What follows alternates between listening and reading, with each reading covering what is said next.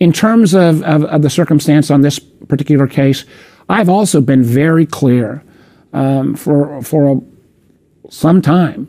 I just finished a joint interview with um, um, Marco Rubio that'll air on one, I think, Face the Nation this week, and I have huge concerns about the Chinese Communist Party's influence uh, on on many of the companies that come from China. I mean, the CCP has the ability to override any company in China, and those companies in China have to be responsible to the Communist Party, not their shareholders, not their customers.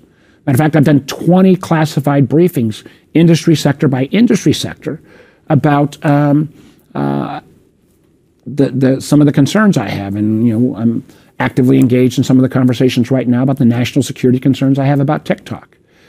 Um, I also know that that in a whole host of areas, from solar to battery technology, we've got to win back and bring back some of that technology.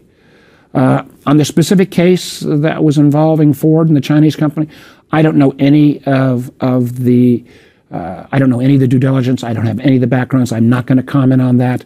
Uh, I will stand by my overarching comments, though, that um, you know, I don't think we need to sever all ties with China. The, we have to figure ways where we can work with them, but we do need to um, recognize that uh, uh, the CCP has an undue influence by Chinese law uh, over many Chinese companies.